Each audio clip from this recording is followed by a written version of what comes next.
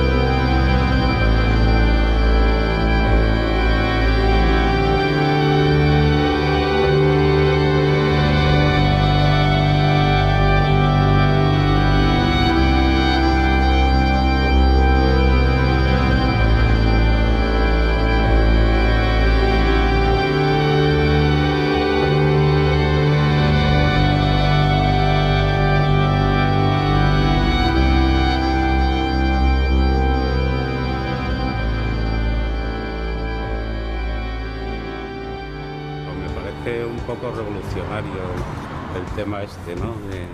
Esto con el Vaticano, con el Vaticano. Con el Vaticano.